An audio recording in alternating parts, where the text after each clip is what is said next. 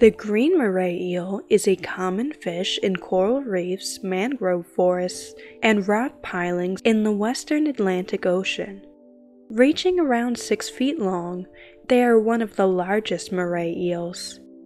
They are found from New Jersey to Brazil. The eel is coated with thick mucus, which gives it the green appearance. Their actual color is a dark grayish brown. The mucus helps protect the eel from disease and parasites. The mucus also helps the eels slip into tight cracks in the reef without damaging their skin. The eel's dorsal fin begins just behind its head and extends along the length of its body. It is fused with the tail and anal fins. They can swim both forward and backward. The eel's body is muscular, scaleless, and flattened side to side. Moray eels habitually open and close their mouths. This shows off their sharp teeth and can make them look threatening. However, this is simply how they breathe. The water passes over the gills and exits through a vent like opening at the back of the head.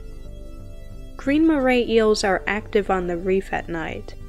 They have a pronounced sense of smell that can be used to locate prey in dark areas of the reef. During the day, they are more sedentary.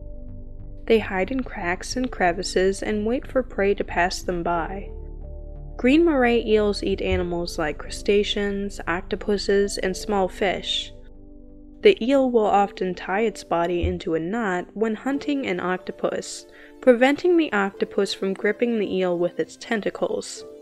The eel has hook like backwards facing teeth for snagging prey. They also have a second set of jaws down the throat that come forward to grip the prey and pull it down the throat. These are called pharyngeal jaws. Cleaner shrimp and gobies help green moray eels stay healthy by removing parasites, bacteria, and dead skin.